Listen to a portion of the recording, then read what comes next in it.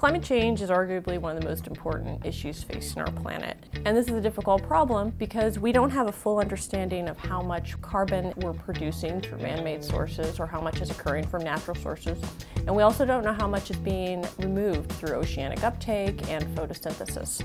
To solve this, we need to be able to measure carbon globally and have a long-term climate record. Both NOAA and NASA scientists have been working on these problems, and that's where my research comes into play. My name is Emily Wilson. I'm the lab chief of the Laser Remote Sensing Lab at NASA Goddard Space Flight Center.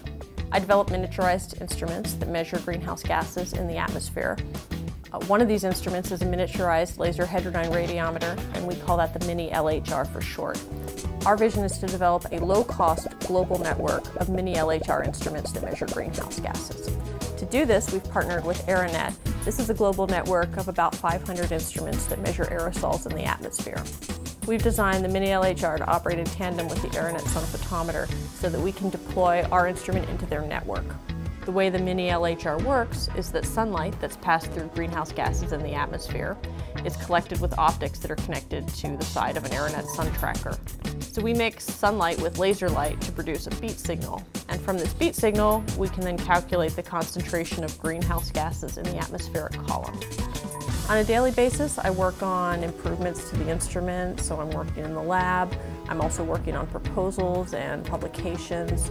Um, and in addition, I manage the Laser Remote Sensing Lab, which has about 30 people. The most exciting part of my job is testing an instrument in the field.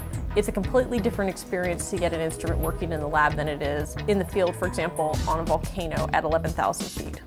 Instrument development is not like the science that you see on TV where something big happens all of a sudden.